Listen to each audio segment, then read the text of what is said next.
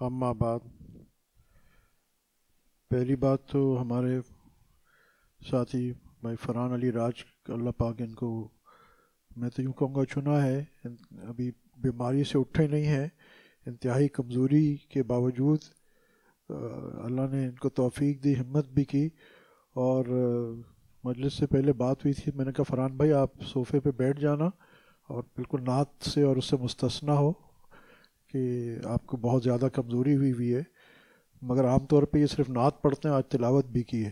تو یہاں سے پتہ چلتا ہے ظالق فضل اللہ یوتی ہی میشا و اللہ الفت عظیم اللہ پاک کا یہ فضل ہے جس کے اللہ چن لے۔ اللہ ان کو بہت جزائے خیر دے اور صحت کا عملہ عاجلہ نصیب فرمائے۔ ایک آج دو چیزیں پہلے عرض کر دوں، انشاءاللہ یہ شروع کرنے سے پہلے۔ ایک تو آج کل ایک ہماری بہت بڑی کمزوری پیدا ہو گئی ہے۔ وہ یہ کہ ہمیں پڑھنے کی عادت ریڈنگ کتابیں پڑھنے کی عادت ہمارے اندر سے نکلتی جا رہی ہے۔ یاد رکھیے، کسی بھی کتاب کے اندر جو مصنف ہوتا ہے، اس نے اپنے سالہ سال کے تجربے ریسرچ یا زندگی کا نچوڑ اس کے اندر ڈالا ہوتا ہے۔ کسی بھی مصنف نے، چاہے وہ کوئی فزکس کی کتاب ہو یا میتھمیٹکس کی ہو، چاہے وہ فلاسفی ہو، چاہے وہ کوئی دینی ٹاپک ہے، کچھ بھی ہے، تو آپ کو وہ یعنی تین سو، چار سو صفوں میں وہ اس کی زندگی کا نچوڑ یا اس معاملے میں سالہ سال کی محنت مل جاتی ہے۔ آیا علوم الدین امام غزالی رحمۃ اللہ علیہ نے بارہ سال کی مسافت کے بعد لکھی تھی۔ بارہ سال۔ اور اس کا جو نچوڑ تھا اس مسافت کا، وہ انہوں نے یہ احیاء علوم الدین ان کی تصنیف ہے۔ ٹھیک ہے، تھوڑی زخیم ضرور ہے، مگر ہمیں وہ مہینوں میں اگر ہم پڑھنا شروع کر دیں تو ایٹ دا موسٹ مہینوں لگ جائیں گے بٹ مہینوں میں ان کی سالوں کی مسافت مل سکتی ہے۔ اسی طرح اپنے اندر یہ عادت پیدا کیجیے۔ اب ایک مسئلہ یہ ہو گیا ہے کہ میں شاید عمر کا تقاضا ہے کہ میں تو پریفر کرتا ہوں کہ کتاب لی جائے فزیکل کتاب، اس کے اپنے اثرات ہیں۔ بہرحال لوگ یہ آئی پیڈ پہ یا نوٹ پیڈ پہ یا کون سی بک ہوتی ہے؟ کنڈر کنڈل کنڈر کنڈل کنڈل پہ پڑھتے ہیں، وہ بھی ٹھیک ہے، چلیں وہ بھی بہتر ہے۔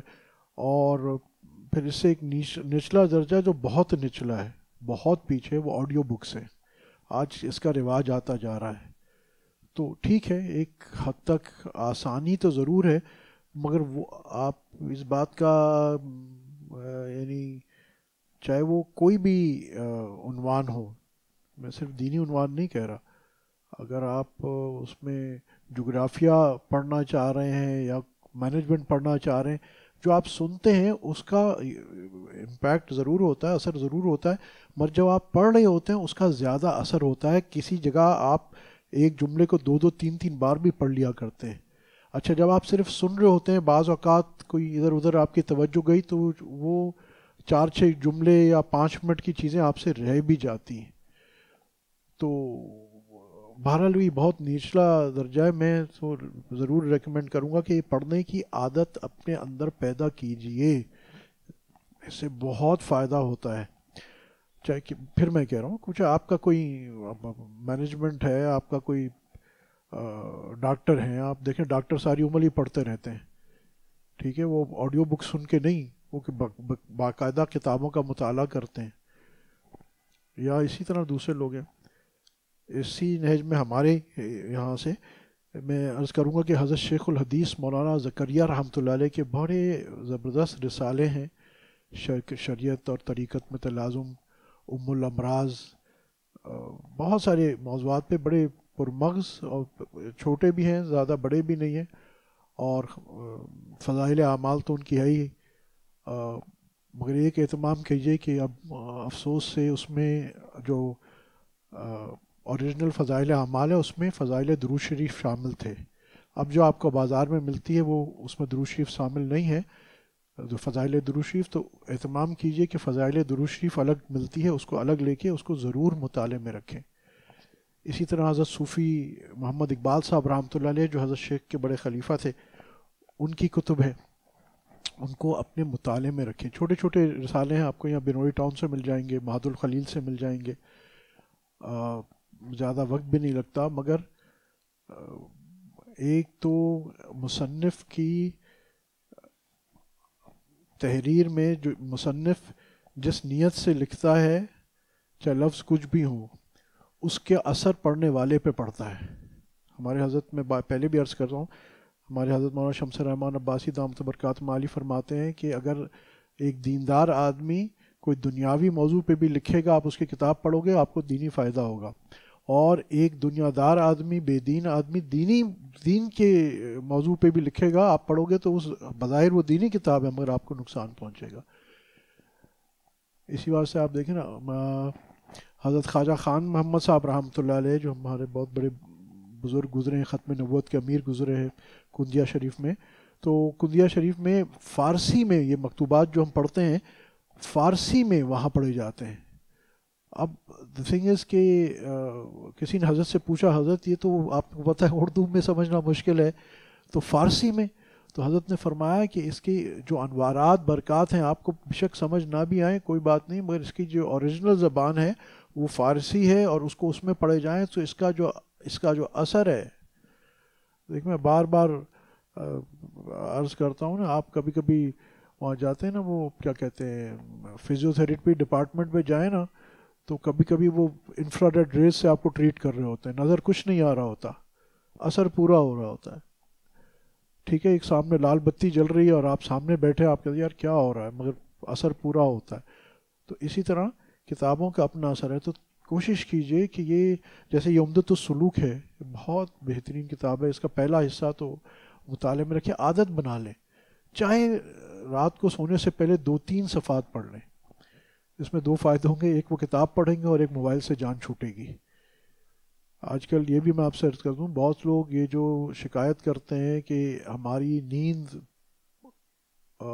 آرام والی نیند نہیں ہے ریسٹفل سلیپ نہیں ہے۔ اس کی وجہ یہ ہے کہ رات کے دو بجے تک اگر آپ مسلسل موبائل پہ لگے ہوئے ہیں تو اس کے اندر سے جو ریڈیشنز نکلتی ہیں اور آپ کا جو یعنی ذہن وہ اتنا مشغول رہتا ہے کہ جب آپ ظاہر بدنی طور پہ سو جاتے ہیں، ذہن آپ کا اسی وقت وہیں چل رہا ہوتا ہے۔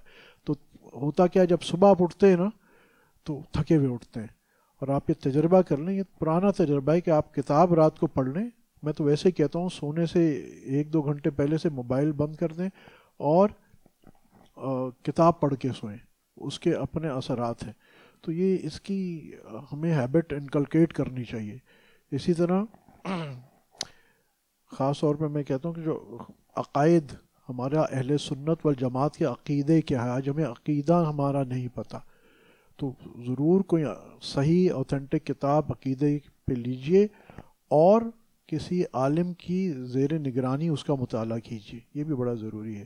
صاحب فن، کیونکہ یہ بہت ساری چیزیں ایسی ہوتی ہیں جو ہم نہیں سمجھ پاتے، تو اس کو دنیاوی اصول بھی ہے کہ کوئی صاحب، فن سے اس کو پوچھا جائے، کوئی ٹیچر ہو ہمارا، تو کوئی بھی دینی کتاب ایسی، اور خاص طور پہ یہ عقائد والی، کسی بھی عالم، صحیح عالم کے ماتحت کہ جہاں آپ کو کوئی چیز سمجھ نہ آئے، آپ اس سے پوچھ لیں، دریافت کر لیں۔ تو ایک تو یہ عرض کرنا تھا۔ دوسرا، ایک چھوٹا سا، ہماری، آپ کو پتہ ایک اپلیکیشن ہے روٹ ٹوگیدر جہاں ہم الحمد للہ دنیا بھر میں درود شریف پڑھتے ہیں اور اکٹھا ہوتا ہے۔ الحمد للہ تو وہ اس کا ایک اپ گریڈڈ ورژن بنایا ہے، ذکر ٹوگیدر انشاءاللہ ابھی بلال بھائی ایک دو دن میں میسج بھی کر لیں گے۔ ان کا ایک ایک اپڈیٹ آنی، وہ آ جائے تو وہ میسج بھی کر دیں گے۔ تو سب سے خاص ہے کیونکہ درود ٹوگیدر جو ایپ ہے، یہ تیس تاریخ کو ختم ہو جائے گی۔ ہاں ڈاکٹر صاحب؟ تیس تاریخ کو ختم ہو جائے گی۔ وہ پرانا پلیٹ فارم پہ بنی ہوئی ہے۔ ہمارے ڈاکٹر عاصم صاحب اور بھائی شہزاد بھائی نے، ان کے ان لوگوں نے اللہ ان کو جزائے خیر دے، ان کے لیے صدقہ جاریہ ہے۔ یہ بنائی ہے ایپ بہت پیاری۔ تو بہرحال وہ وہ اس کی جگہ اب ذکر ٹوگیدر ہے، اس میں، جس طرح ہم درو شریف پڑھتے تھے، اسی طرح اس میں استغفار کا بھی ایڈ کر دیا۔ اور بھی کئی چیزیں، مراقبہ میڈیٹیشن کئی چیزیں ماشاء اللہ ایڈ کر رہے ہیں، وہ تو وقت سے ہوں گی۔ تو بس اس کو آپ کوشش کیجیے گا کہ پہلی تاریخ سے وہ ذکر ٹوگیدر کی ایپ یہ ایپ سٹور پہ بھی ہوگی اور اس میں ایپل میں بھی ہوگی۔ تو اس کو اس کو اپلوڈ کر لیں۔ تو انشاءاللہ، اور پھر یہ دروٹ ٹوگیدر پہلی اکتوبر سے بند ہو جائے گی۔ میں نے کہا یہ بھی آپ کو ایک بس اطلاع دے دوں۔ انشاءاللہ اپنا جو ہمارا سلسلہ چل رہا ہے عمدت السلوک کا، اس کے پچھلی بار کچھ شرائط شرائط مرشد تھی کہ مرشد کے اندر کیا کیا چیزیں دیکھنے کی ضرورت ہے۔ اچھا یہ میں عرض کروں، بعض، بہت سارے دوست ایسے یہاں آتے ہیں جو سلسلے میں نہیں ہوں گے، کسی کے ساتھ بیت بھی نہیں ہوں گے، تو شاید وہ اس سے پریشان نہ ہو کہ شاید یہ ہمیں کنسرن نہیں کرتا۔ ایک تو یہ ویسے علم ہے، اگر آپ کسی سے بیت نہیں ہے، نہ ہونا چاہتے ہیں، کچھ نہیں، بہرحال یہ علم ہے کہ جب کبھی زندگی میں آپ سمجھیں کہ ہمیں کسی اس ایسی رہنمائی چاہیے، تو آپ کے علم میں ہو کہ اس کے پری کوالیفیکیشن کیا ہے۔ ایک بات اور دوسرا، جیسے ابھی میں نے کہا، مصنف کی توجہات ہمیں حاصل ہوتی ہیں تو انشاءاللہ پڑھنے والے کو، سننے والوں کو انشاءاللہ وہ ساری جو حضرت سید زوار حسین شاہ صاحب رحمۃ اللہ جو بہت بڑے ولی اللہ تھے، بہت بڑے ولی اللہ تھے۔ تو ان کے جو قلبی کیفیات تھیں انشاءاللہ، وہ بھی ہمیں انشاءاللہ منتقل ہوں گی۔ تو کچھ ہم نے شرائط جو ہیں وہ عرض کر دی تھی یہاں یہاں سے تیسری ایک شرط تھی پتہ نہیں یہ کر لی تھی but any we'll start from here حضرت نے لکھا ہے کہ تیسری شرط یہ ہے کہ دنیا سے نفرت مرشد کے بارے میں، کہ دنیا سے نفرت کرنے والا اور آخرت کی طرف لو لگانے والا ہو۔ تاکیدی عبادتوں اور ایسی ذکر اور وظیفوں پر جو کہ صحیح حدیثوں سے ثابت ہے، پوری پابندی کے ساتھ عمل کرتا ہو، دل کا تعلق ہمیشہ اللہ تعالیٰ سے رکھتا ہو اور اس کو یادداشت کی پوری پوری مشق ہو یادداشت سے مراد بے ارادہ اور بے اختیار دل سے اللہ اللہ کرنا ہے۔ اس کی حقیقت انشاءاللہ آگے بیان ہوگی۔ یہ دیکھیں، یہ مرشد کی ضرورت، یہ بڑی ضروری بات ہے کہ جس سے ہم اتنا تقوی کا دین لے رہے ہیں، اگر وہ خود تقوی پہ نہیں ہے فتوے پہ نہیں ہے، تو وہ ہمیں کیا ہماری رہنمائی کرے گا؟ یہاں تھوڑا معاملہ عام دنیاوی علوم سے مختلف ہے۔ ڈاکٹر کی مثال لے لیتے ہیں۔ ایک ڈاکٹر ہے جو اپنی یعنی بہت سارے ڈاکٹر آپ کو ملیں گے، آپ کو بتا تو دیں گے کہ سگریٹ پینا کتنا نقصان دہ ہے، مگر خود سگریٹ پیتے ہیں۔ مگر وہاں جو علم وہ دے رہے ہیں وہ صحیح ہے، وہ فائدہ مند ہے۔ ٹھیک ہے، وہاں ہمیں کوئی پرابلم نہیں، وہاں ہم صرف ان کا علم لے لیں گے۔ مگر یہاں اس لائن میں اگر وہ بتا کچھ رہا ہے اور کر کچھ رہا ہے اور بات تقوی کی ہو رہی ہے۔ تو اس کا مطلب وہ ہمیں کیا جس چیز پہ وہ خود ابھی کنونس نہیں ہوا ہے اور حقیقت میں خود عمل نہیں ہوا، وہ ہمیں کیا عمل کروائے گا؟ وہ ہمارے اوپر اس کا کیا اثر پیدا ہوگا؟ تو یہاں ضروری ہے کہ ہمارا جو رہنما ہو، وہ ہم سے آگے ہو، صاحب تقوا ہو۔ آج دیکھیں نا کتنا بڑا یہ فقدان ہے۔ جنرلی ہمیں جو دین بتانے والے ہیں، وہ خود ان کا حلیہ کیا ہے؟ بہت لوگ کہتے ہیں جی حلیے سے کیا فرق پڑتا ہے؟ شاید کوئی ایسا فرق نہ پڑتا ہو ایک عام آدمی کے لیے۔ مگر ایک آدمی جو دعویٰ کر رہا ہے کہ میں آپ کو اس چیز کی مہارت سکھاؤں گا اور میں اس چیز کی حقیقت جانتا ہوں اور پھر اس کا عمل کچھ اور دکھا رہا ہے۔ بات ہم قرآن اور حدیث کی کر رہے ہیں اور پھر مکس گیدرنگز میں بیٹھ کے قرآن اور حدیث پڑھ رہے ہیں۔ بے پردہ لڑکے لڑکیاں مسئلے پوچھ رہے ہیں اور آپ ان کو بتا رہے ہیں۔ یہ ہمارے اسلاف کا کہیں آپ، پچھلے چودہ سو سال، یہ تو ابھی، یہ ابھی یہ سوشل میڈیا یا بیس تیس سال سے یہ چیزیں نکلی ہیں یا بیچ میں کچھ فتین آتے رہیں اور ایسے آتے بھی رہیں گے۔ مگر آپ دیکھیں، چودہ سو سال امت میں جو طریقہ تھا، جتنے ہمارے بزرگ صحابہ سے لے کے تابعین، طب تابعین آئمہ کرام سب کے زمانے میں کیا امام ابو حنیفہ کی مجلس میں بے پردہ عورتیں، لڑکیاں بیٹھی ہوتی تھیں؟ نہیں، اس کا یہ مطلب نہیں کہ خواتین علم نہیں سیکھ سکتے پردے میں بالکل۔ اماں عائشہ رضی اللہ تعالیٰ عنہ بھی صحابہ کو دین سکھاتی تھی، پردے میں بالکل، اس کی اجازت ہے۔ پر آج جو ہمیں، کیونکہ آج ہمارا بہت بڑا مسئلہ ہے کہ آج اسپیشلی آ ینگ جنریشن ہم دین لے رہے ہیں کس سے؟ سوشل میڈیا سے۔ جس کو خود نہیں پتا کہ دین کیا ہے، وہ ہمیں دین سے سکھا رہا ہے۔ جو خود ادب کو نہیں جانتا۔ کیا عرض کروں اس وقت بہت بڑا یہ چیلنج ہے، خاص طور پہ ہمارے نوجوانوں کو، کہ وہ بیچارے سوشل میڈیا پہ گھومتے گھومتے کہاں سے کہاں پہنچتے۔ ہم دین کو عقل سے پہ ٹٹولنا شروع کر دیتے۔ ہیں آج کل یہی ہو رہا ہے نا کہ جو اچھی انگریزی بول لے جو اچھی لفاظی کر لے، جو اچھی ڈبیٹنگ کر لے، تو وہ بڑا دین کا ماہر بن جاتا ہے۔ ہم بڑے امپریس ہو جاتے ہیں کہ ایک آدمی غیر مسلم تھا، مسلمان ہو گیا۔ بہت اچھی بات ہے، الحمدللہ، بہت بڑی بات۔ اب ہم اس کو دین کا مقتدہ بنا لیتے ہیں۔ ارے بھائی، وہ مسلمان ہوا ہے، بہت بڑی بات ہے، مگر اب وہ، ہم کہتے ہیں اب یہ ہمیں ہمارا دین سکھائے اس نے اچھا عمل کیا، بڑی بات کی کہ وہ دین کی طرف آیا، کچھ اس نے پڑھ لکھ کے بھی آ گیا۔ مگر اس کا یہ مطلب نہیں، وہ دین کا ماہر بن گیا۔ بہت دفعہ ایسا ہوتا ہے کہ بیچارہ کوئی آیا ہے، ابھی اس کے پرانے خیالات، اگر ہندو سے مسلمان ہوا ہے بہت سارے نظریات ابھی پورے صاف نہیں ہوئے، اور ہم اس سے دین لینا شروع کر دیتے ہیں۔ اور افسوس کا یہ مقام ہے، یہ تو ہم تب کریں کہ جب ہمارے پاس علماء کرام موجود نہ ہوں۔ الحمد للہ الحمد للہ اس وقت دنیا میں ہر جگہ علماء حق موجود ہیں۔ کوالیفائڈ عالم با عمل موجود ہیں، ٹھیک ہے، تھوڑا ڈھونڈنا پڑتا ہے، مگر بالکل موجود ہیں، صحیح صاحب علم موجود ہیں۔ تو یہاں یہ جو شرط بتا رہے ہیں کہ یہ ایسا شخص ہو جو دنیا سے نفرت کرنے والا اور آخرت کی طرف لو لگانے والا ہو، صرف کہتا نہ ہو، اس کی حقیقت یہ ہو۔ اب یہ آپ کو ایک آدمی کی باڈی لینگویج سے بھی پتہ چل جاتا ہے، اس کے ساتھ آپ رہو، اس کی صحبت میں بھی پتہ چل جاتا ہے۔ اور میں اس کی دلیل پہ انشاءاللہ عرض کرتا ہوں آپ کو کہ اس فقیر کے میں تینتیس، چونتیس، پینتیس سال ہمارے حضرت مولانا شمس رحمان عباسی دامت برکات مالی کے ساتھ گزرے۔ اور یہ چیزیں مشاہدہ کی، انہوں نے دعویٰ کبھی نہیں کیا کہ مجھے دنیا سے محبت نہیں ہے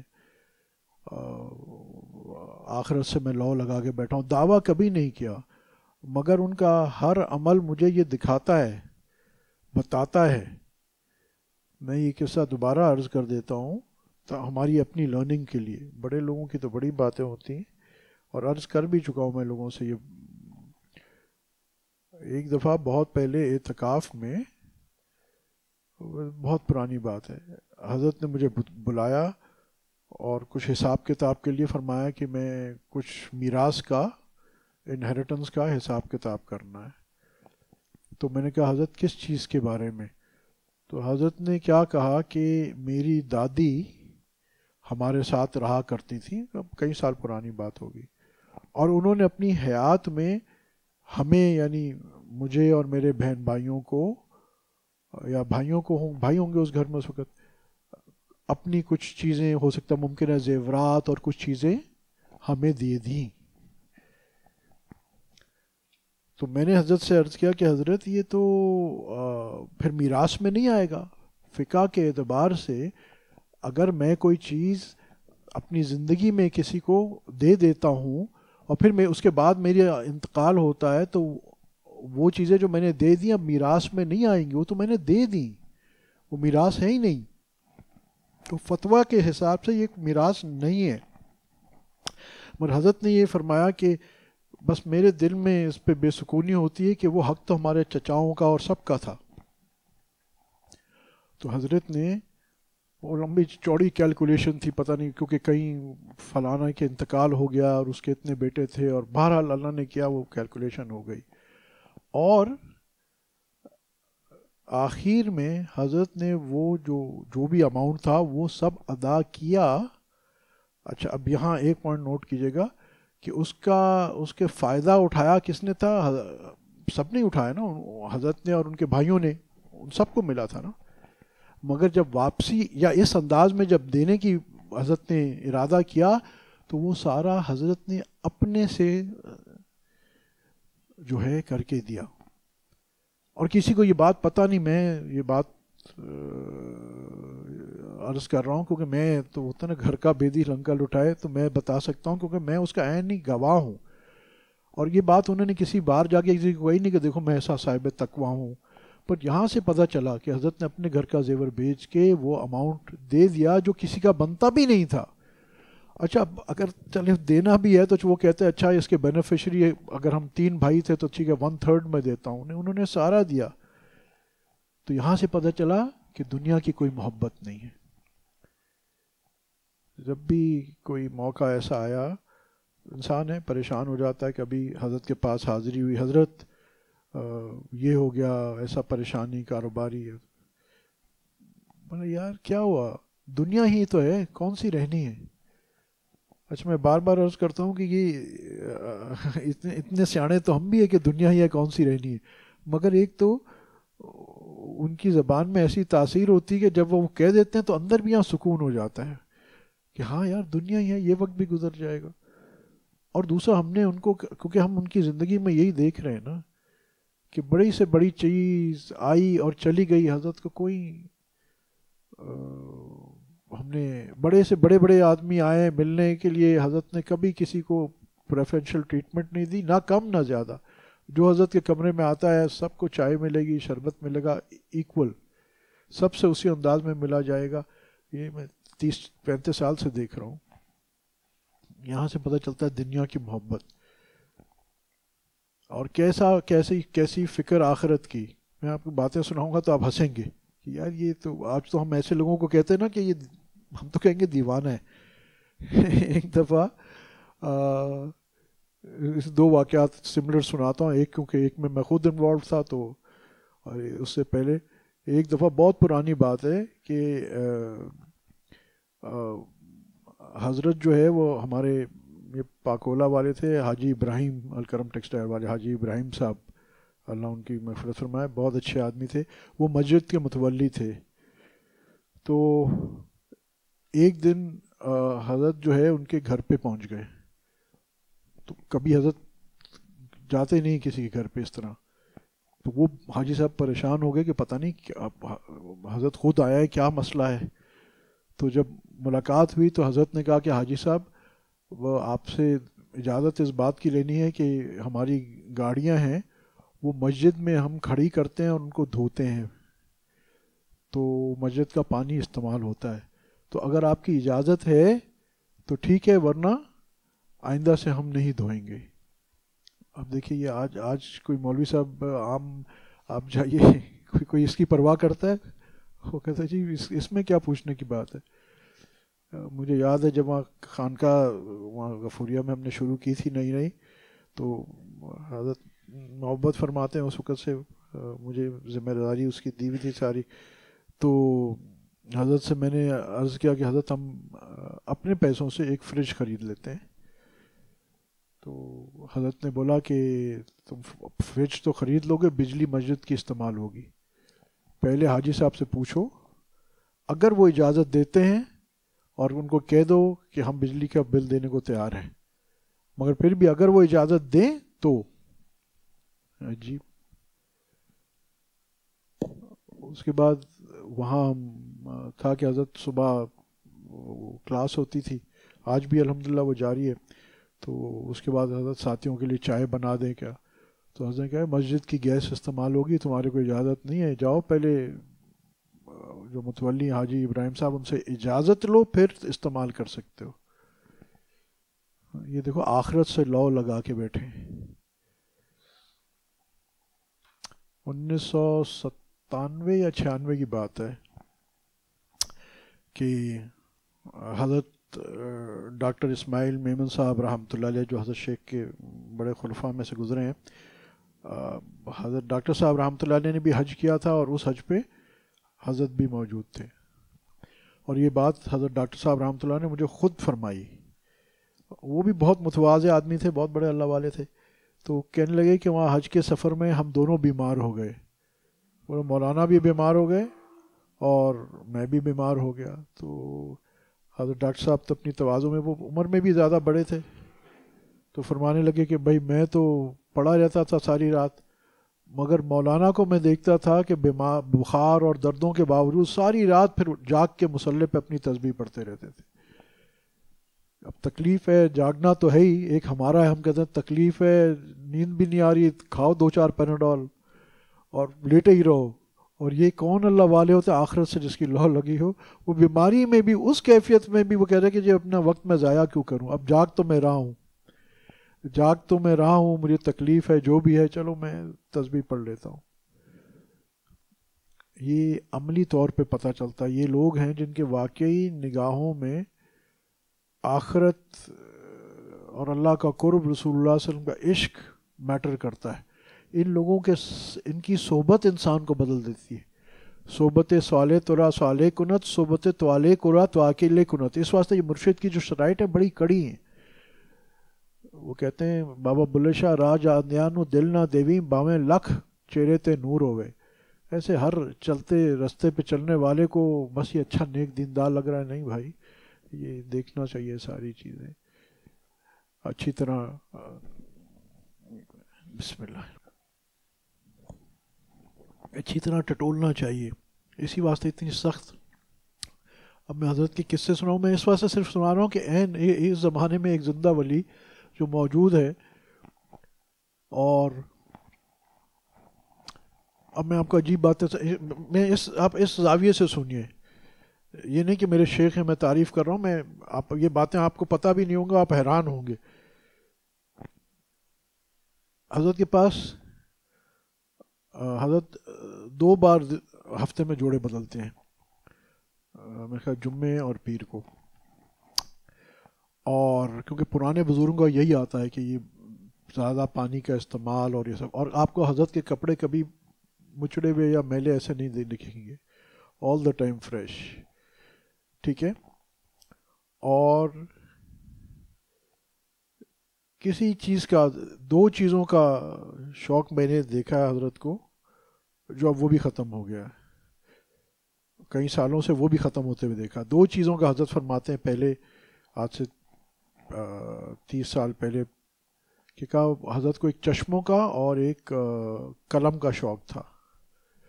اللہ پاک نے ان کو استداد بھی بہت دی تھی۔ والد صاحب، وہ بھی، مولانا عبدالرزاق صاحب بھی امام تھے۔ اور ان کا بڑا وسیع کاروبار تھا گاڑیوں کا۔ تو حضرت اس زمانے میں یہاں آغاز سٹور ہوتا تھا، لوگوں کو یاد ہوگا، یہاں کلفٹن میں۔ تو اس کے پاس بڑے اچھے بار کے قلم اور بڑے مہنگے مہنگے چشمے آتے تھے۔ اور حضرت کو اس وقت سے ہرے رنگ کا بڑا شوق تھا، کوئی ہرا قلم آ جائے اس زمانے میں بیس بیس ہزار روپے کا، اور کوئی ہرا چشمہ آ جائے۔ اور پھر قلم کو بھی بہترین قلم، اور اس کو حضرت کی نفاست بھی ایسی ہے کہ اس کو کوئی تعویذات بھی لکھتے تھے نا، تو اس کو ایک ابھی بھی وہ پتھر رکھا ہوا ہے سلور کلر کا چکور پین کو شارپ کر کے اور لکھتے تھے۔ تو بہرحال وہ دو شوق تھے اور اب خود فرماتے ہیں، اب بہت پرانی اب کئی عرصے سے کہتے ہیں، یار یہ دو شوق تھے، اب اللہ نے وہ بھی ختم کر دیے۔ اب قلم بھی حضرت کا ایک نارمل سا کوئی قلم ہے، وہ ایک گرین استعمال کرتے ہیں۔ حضرت کو بس ہرے رنگ سے قدرتی عشق ہے، آپ سے وسلم کی نسبت سے۔ اب یہ دعوے نہیں ہیں، وہ قدرتی ان کی ٹیمپرمنٹ ہے، ان کو ان کو قلم، ان کی گھڑی بھی ہری ہے۔ وہ اعلانیہ کچھ کہتے نہیں کہ دیکھو میری گھڑی ہری ہے، مجھے عشق ہے۔ دیکھو میرا پین ہر، وہ اندر سے ہے۔ اور عشق جس سے ہوتا ہے نا۔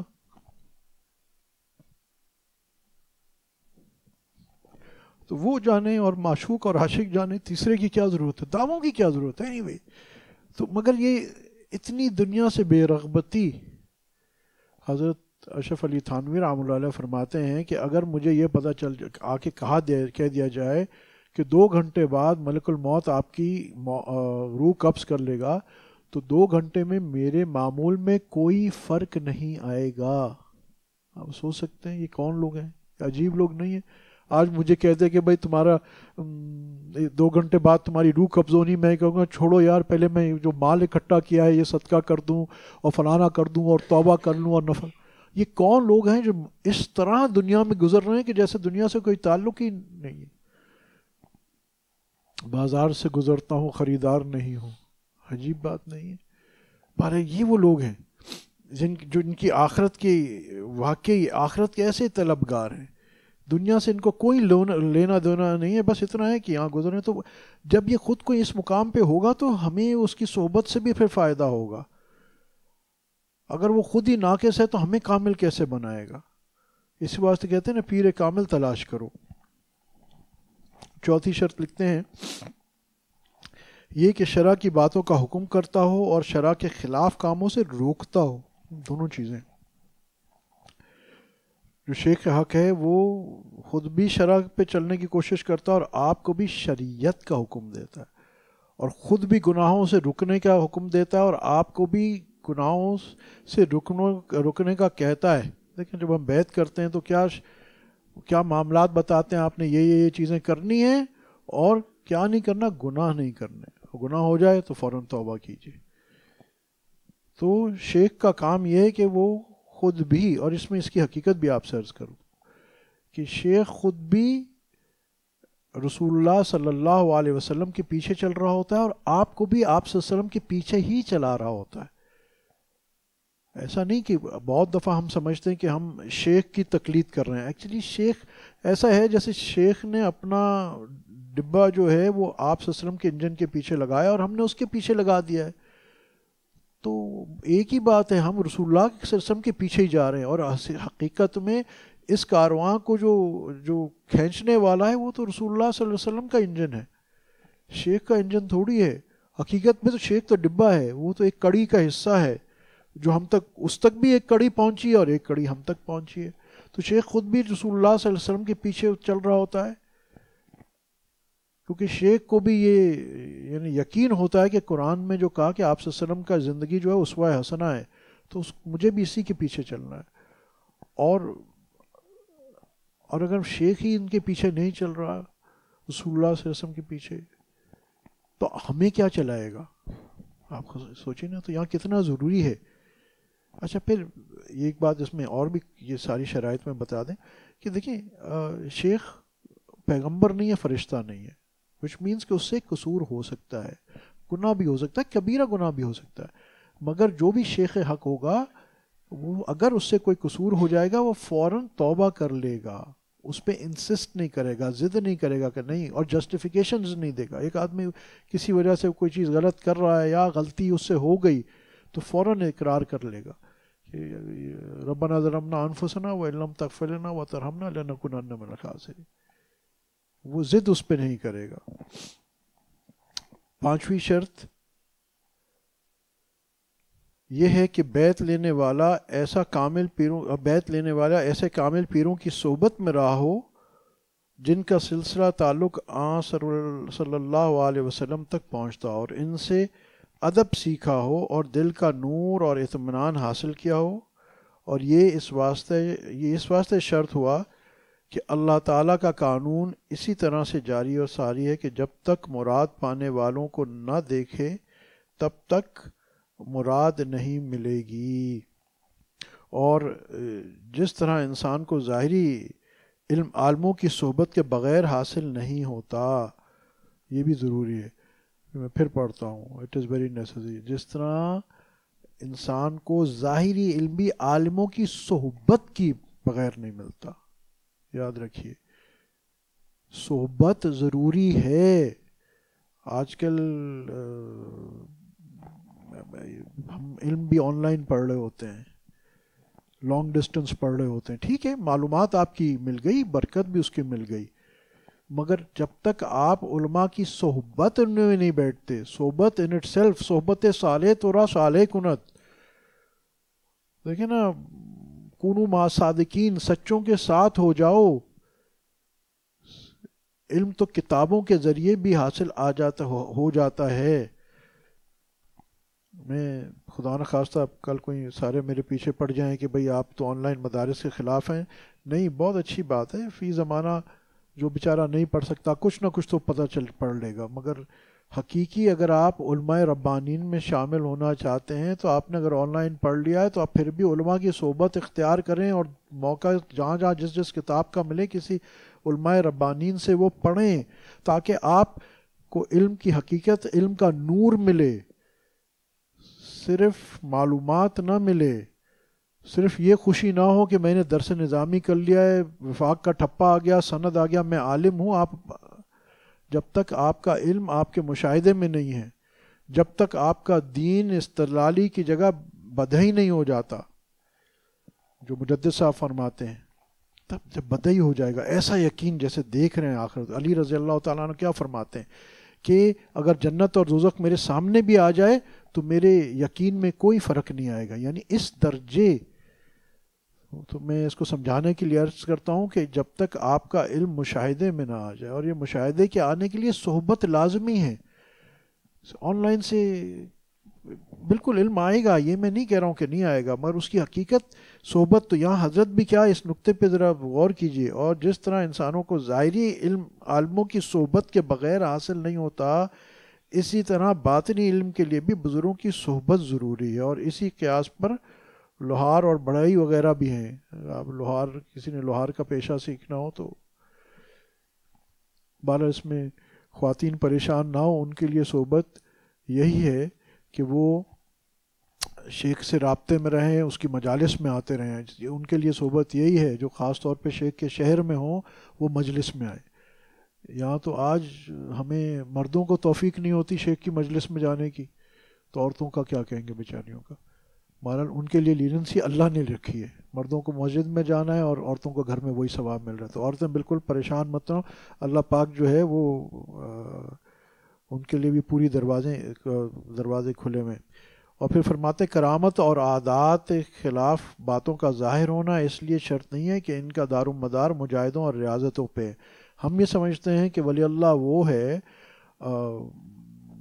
ایسے شیخ کو تلاش کرو جس، جو صاحب کرامت ہو۔ جو چف کرتا ہو، ہماری سر کی درد دودھ ہو جائے، جو یوں ہاتھ اوپر سے لاتا ہو تو انڈا اس کے ہاتھ میں آ جائے، یہ تو شعبے باز جادوگر بھی کرتے ہیں۔ اچھا اور دوسرا، جیسے میں کہتا ہوں، بہت ساری ایسی چیزیں ہیں کہ آپ کے دل کا حال بتا دینا، یہ مائنڈ سائنسز سے تعلق رکھتا ہے۔ میسمرزم ہے ہپنوٹزم ہے ٹیلیپتی ہے، بہت ساری یہ چیزیں یہ مائنڈ سائنسز سے تعلق رکھتا ہے۔ یہ تو کوئی بھی ہندو جوگی بھی اس میں بڑے ماہر ہوتے ہیں۔ کیونکہ آپ اگر کم کھائیں، کم بولیں، کم سوئیں۔ اچھا یا مسلمان نہیں بھی ہیں۔ تو بھی کیا ہے؟ آپ کے یہ یہ اللہ پاک نے بدن کے اندر یہ طاقتیں رکھی ہیں، یہ ایکٹیویٹ ہو جاتی ہیں۔ تو بہت ساری یہ جو کرامتیں ہو رہی ہوتی ہیں اچھا بعض اوقات جو چیزیں ہو رہی ہوتی ہیں خلاف عادت، وہ کرامت نہیں ہوتی، استدراج ہوتا ہے، وہ شیطان کی طرف سے ہوتا ہے۔ تو یہ بڑا خطرہ ہے، اس واسطے اولیاء جو ہے، اول تو جتنے ولیاں ہیں، ولی ہیں، وہ اپنی کرامتیں ایسے چھپاتے ہیں جیسے کوئی عورت حیض کو چھپاتی ہے، اتنا وہ ڈرتے ہیں۔ وہ اور ڈرتے ہیں کہ پتہ نہیں ہماری آخرت کا حصہ اس کی وجہ سے نہ چلا گیا ہو۔ اور خدا نخواستہ استدراج نہ ہو۔ تو پیر کے لیے کرامتیں، اصل کرامت کیا ہے؟ اتباع سنت صلی اللہ علیہ وسلم۔ اصل کرامت یہ ہے۔ جو شخص سنت پہ طبی ہے، ایک شخص ہاتھ میں آپ دیکھ رہے ہیں، بڑی ہواؤں پہ اڑ رہا ہے مگر نماز نہیں پڑھتا۔ یہ تو زندگی ہے ولی اللہ نہیں ہے، یہ تو مردود ہے۔ تو ہم ان شعبدہ بازیوں پہ، اس پہ جج نہیں کریں گے مرشد کو۔ ہاں اہل اللہ اس میں کوئی شک نہیں کہ اہل اللہ کی کرامتیں ہیں۔ اولیاء کے ولی انبیاء پہ کے ہاتھ پہ جو ہوتا ہے، کرنے والی ذات اللہ کی ہوتی ہے، مگر جو اولیاء کے انبیاء کے ہاتھ پہ ہوتا ہے، وہ معجزہ ہے۔ موسیٰ علیہ السلام کا عصا اگر سانپ بنتا ہے، معجزہ ہے۔ کرنے والی ذات اللہ کی ہے۔ اور اگر عمر رضی اللہ تعالیٰ عنہ کے کہنے پہ دریائے نیل میں جو خط پھینکا جاتا ہے، نیل جاری ہو جاتا ہے، یہ ان کی کرامت ہے۔ تو یہ دونوں چیزیں آج بھی ایسی ہی جاری ہیں۔ کیونکہ یاد رکھیے گا، حقیقت میں کرنے والی ذات کون کی؟ اللہ۔ اللہ آج بھی موجود ہے۔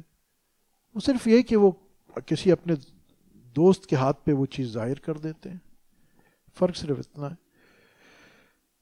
تو یہی فرما رہے ہیں کہ کوئی ایسی چیز ضروری نہیں ہے، کیونکہ یہ چیزیں تو جوگیوں وغیرہ میں بھی پائی جاتی ہیں۔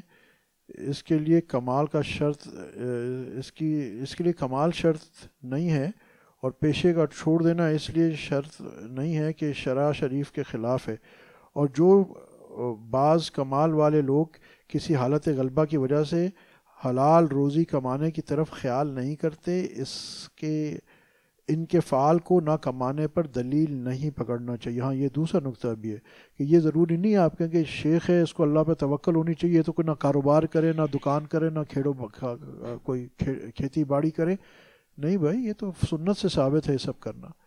ہاں کچھ اولیاء کرام ایسے ہوتے ہیں جو ظاہری اسباب چھوڑ دیتے ہیں، ان کو اس کا حکم ہوتا ہے، وہ مگر وہ چند ہوتے ہیں۔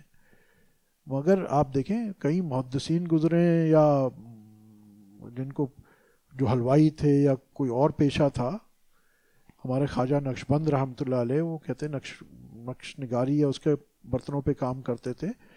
کہیں ہمارے فضل علی مسکین پوری رحمۃ اللہ علیہ کھیتی باڑی کرتے تھے۔ تو یہ ظاہری اسباب اختیار کرنا کوئی ولایت کے یا دین کے خلاف نہیں ہے۔ ہاں بعض بعض نے حکم تکوینی اگر چھوڑ دیا تو وہ بعض کا کردار ہے، مگر پیشہ اختیار کرنا، روزی کمانا، محنت کرنا، بچوں کے لیے اسباب مہیا کرنا، یہ تو سنت ہے۔ بزرگوں نے تو یہی لکھا ہے کہ تھوڑے پر صبر کرنا شبے کی چیزوں سے پرہیز کرنا یعنی مکرو اور شبے کے مال اور پیشے سے بچنا ضروری ہے۔ اور پوری طرح سے دنیا کو چھوڑ کر الگ تھلگ پہاڑوں یا جنگلوں میں رہنا اور اپنے اوپر سخت عبادتوں کو ضروری سمجھنا، جیسے کہ ہمیشہ روزہ رکھنا، ہمیشہ روزہ رکھنا۔ تمام رات جاگنا اور بیوی سے بالکل الگ رہنا، لذیذ کھانے نہ کھانا وغیرہ، جس کو ہمارے وقت کے عام جاہل لوگ کمال جانتے ہیں۔ تو یہ سب چیزیں خلاف سنت ہیں۔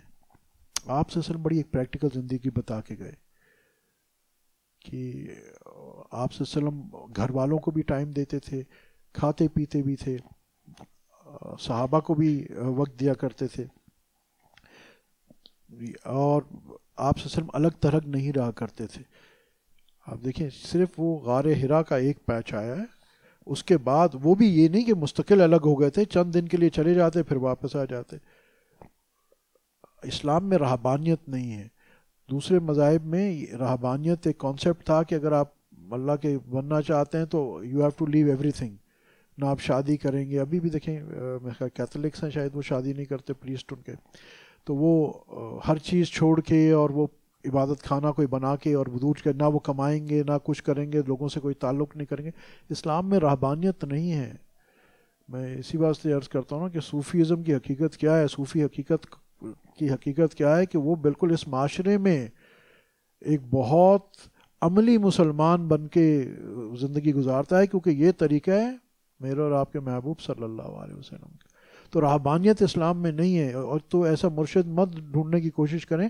ہو سکتا ہے کہ ایسے ایسے اللہ والے ہیں، میں نہیں کہتا۔ مگر وہ حکم تکوینی، اللہ پاک نے ان کی کچھ ڈیوٹیاں لگائی ہوتی ہیں، مگر ایسے کم ہیں کہ جو ایک بالکل کنارہ کش کسی پہاڑ میں جا کے بیٹھ گیا آپ کو مطلب میں تو ابھی کسی کو نہیں جانتا ہوں جو پہاڑوں میں بیٹھا ہوں گے۔ مگر میں بہت سارے اولیاء کرام کو جانتا ہوں جو ماشاء اللہ پڑھ رہے ہیں، پڑھا رہے ہیں، کچھ کاروبار بھی کر رہے ہیں، دین کا کام بھی کر رہے ہیں، ذکر اسکار بھی کر رہے ہیں، لوگوں کی اصلاح بھی کر رہے ہیں پریکٹیکل جو کر رہے ہیں۔ تو اس میں یہ اس چیز سے باز رہے آدمی کہ ایسے کسی شیخ کو تلاش کرے کہ جو بالکل دنیا کا تارک ہو، اس انداز میں کہ عملی زندگی اس نے چھوڑ دی ہو۔ انشاءاللہ باقی زندگی رہی تو اگلے بار انشاءاللہ اس کو کنٹینیو کریں گے۔ وہ آخر دعوانا الحمد للہ العالمین۔ اب تھوڑی دیر کے لیے مراقب ہو جائیں، اپنی آنکھوں کو بند کر لیں ہونٹوں کو ملا لیں، زبانوں کو تالو کے ساتھ لگائیں تاکہ حرکت نہ کرنے پائے۔ اور دل میں جو الٹے پستان سے دنگل نیچے پہلو کی جانب ہے، اس میں خیال کیجیے کہ اللہ جل جلالہ من والوں کے ذکر کے انوارات تجلیات برکات کا نور۔ حضور اقدس صلی اللہ علیہ وسلم کے سینے مبارک سے، قلب مبارک سے فرقان دین سلسلے عالیہ نقشبندیہ کے توسل سے میرے دل پر آ رہا ہے، جو میرے دل کے اندھیرے، گناہ کو دراز ظلمات سب مٹا دیتا ہے۔ اور میرا دل کہہ رہا اللہ اللہ اللہ۔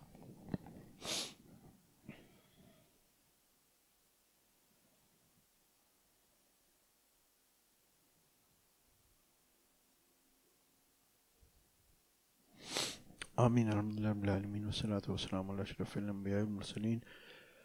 سیدنا مولانا محمد علیہ صحابی اجمعین۔ ربنا ظلمنا انفسنا ولم تغفر لنا وترحمنا لنكونن من الخاسرین۔ ربنا لا تزغ قلوبنا بعد إذ هديتنا وهب لنا من لدنك رحمة إنك أنت الوهاب. ربنا آتنا في الدنيا حسنة وفي الآخرة حسنة وقنا عذاب النار. وقنا عذاب القبر وقنا عذاب الحشر وقنا عذاب الميزان. یا اللہ ہمارے اس بیٹھنے کو قبول فرما. اپنے محبت تعلق معرفت پہچان نصیب فرما. نبی کریم صلی اللہ علیہ وسلم کی پکی سچی دائمی محبت نصیب فرما. القول فعلاً، صورتاً، سیرتاً، اخلاقاً، آپ وسلم کی اتباع نصیب فرما۔ اللہ تمام بیماروں کو شفاء کاملہ عاجلہ نصیب فرما۔ تمام پریشان حالوں کی پریشانیاں دور فرما۔ جو مقروض ہیں ان کے قرضوں کا عالم الغیب سے بندوبست فرما۔ جو کسی بھی کاروبار، روزگار جس کی تنگی میں ان کو حلال، طیب، پاکیزہ، روزگار، عافیت، برکتوں کے ساتھ عطا فرما۔ جو گھریلو پریشانی میں ان کی گھریلو پریشانیاں دور فرما۔ اللہ جو صاحب اولاد ہیں، ان کے اولاد کو نیک اور صالح بنا۔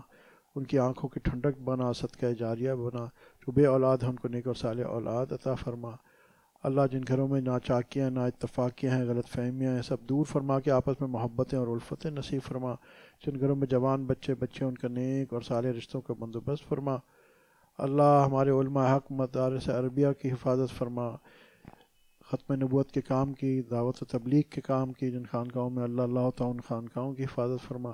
اللہ جتنے حاضرین ہیں، غائبین ہیں، سب کی دلی مراد شریعت کے مطابق پوری فرما، سب کی آفات، بلیات، پریشانیاں دور فرما۔ جن بھائیوں، دوستوں نے دعاؤں کے لیے کہا، کہنا چاہتا ہے یا ان کا حق ہے، سب کی دلی مراد شریعت کے مطابق پوری فرما، سب کی آفات، بلیات، پریشانیاں دور فرما۔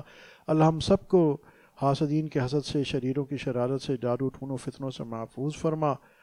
اللہ جو مانگ سکے وہ بھی عطا فرما، جو نہیں مانگ سکے ہماری قبر، حشر، جنت تک جانے کی تمام ضروریات پوری فرما۔ اللہ فلسطین اور غزہ کے مسلمانوں کی مدد فرما، ان کو غلبہ نصیب فرما، یا اللہ یہ کفار کا جو یہ غلغلہ ہے، یا اللہ اس کو، یا اللہ تو ہم مسلمانوں کی طرف سے، یا اللہ اس کا جواب دے دے، یا اللہ ان کو نیست و نابود فرما اور مسلمانوں کے یا اللہ غلبہ نصیب فرما۔ اللہ جتنے بیمار ہیں ان کو شفاء کاملہ عاجلہ نصیب فرما۔ ہمارے بھائی رضوان صاحب، حضرت کے جو خلیفہ ہیں، ان کی اہلیہ بہت زیادہ بیمار ہیں، ان کے لیے دعا فرما اللہ بہت عافیت کے مسئلے فرمائیں ہمارے یوسف بھائی ہیں ان کی والدہ صاحبہ بھی اور بیٹی دونوں علیل ہیں، ان کے لیے بھی اور خاص طور پہ آج کل یہ ڈینگی اور چکن گونیا کا بہت وبا پھیلی ہوئی ہے۔ اللہ تو اپنے فضل سے جو اس بیماری میں ہیں، ان کو صحت کاملہ عاجلہ نصیب فرما۔ اور یا اللہ ہم اس بیماری کو یا اللہ مستقل ہمارے شہر سے اور ملک سے دور فرما۔ تمام بیماریوں سے یا اللہ ہم پوری امت کو یا اللہ محفوظ فرما۔ اللہ جو مانگ سکے وہ بھی عطا فرما، جو نہیں مانگ سکے قبر حشر جنت تک جانے کی تمام ضروریات پوری فرما۔ اللہ ہم سب کا ایمان پر خاتمہ نصیب فرما۔ سبحان رب رب العزت السلام المسلم الحمد للہ